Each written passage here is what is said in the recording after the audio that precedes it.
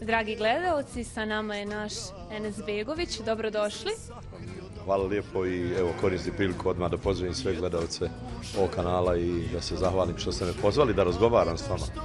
Hvala vama što ste dio našeg novogodišnjeg programa. Zaista nam je čast i meni i našoj cijeloj ekipi. E, recite nam, kakva je za vas bila ova prethodna godina? Pa ja ne znam kako bi joj karakterisao s obzirom da smo evo prošli svi zajedno što smo prošli. E, malo je krenulo bilo nabolje, pa onda se opet pokvarilo i tako dalje.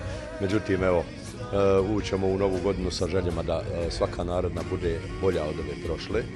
Tako da ne bi nešto spominjao prošlu godinu jer je ona ono pola pola. Pola dobra, pola loša, tako da ovaj mislim da svaka narodna treba da bude i bit će bolja. Da, a vi ste odličan primjer da muzika i sport idu zajedno, ali primijetili smo da se desila neka povreda. Recite nam kako ste sada, je li sve u redu? Dobro je ovaj, e, s obzirom da, da, evo, vi ste mi terapija, jel, ovaj, e, pa prošlo je na moju veliku sreću i na sreću oni koji me vole. E, eto, na moju veliku žalost ne mogu više da se bavim futbalom. Ono što volim posle pjevanja jako puno.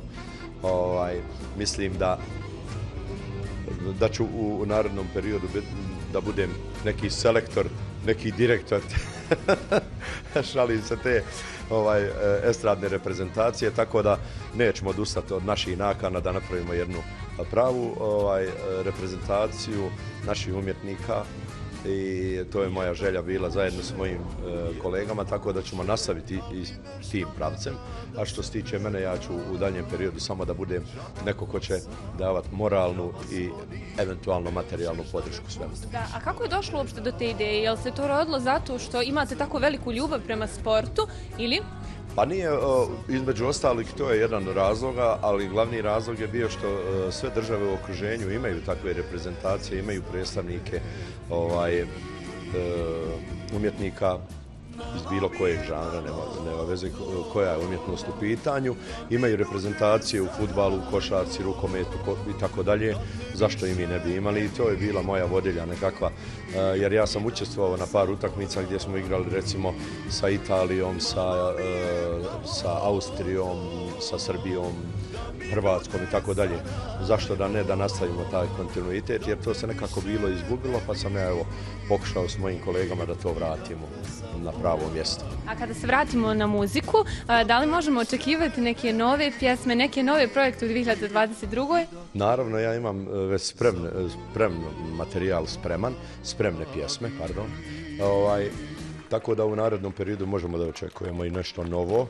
Nisam tio namjerno da izdajem da, da, da E, jednostavno, eto, žargonski rečeno, trošim pjesmena, pošto je pandemija učinila svoje i sve to skupa, tako da mislim da ne bi e, bile ispraćene onako kako sam ja želio i da im ne bila posvećena pažnja na takav način na koji sam ja e, želio da, da budu predstavljene, tako da ćemo Evo u narednoj godini obećavam svima onima koji vole ono što ja radim da ćemo imati ovaj, par odličnih pjesama. Jako mi je drago, vjerujem da se naši gledalci raduju. Recite koji su tu novogodišnje želje koje bi Enes Begović poručio našim gledalcima? Ja ću ostati, ovaj, e, ja sam neko ko je u, uvijek isti u tom puno zdravlja, sreće i ljubavi u novoj 2022. godini. Svim gledalcima ovog kanala i vama u, u televiziji od srca želim i da budete zdravi, živi, veseli i lijepi.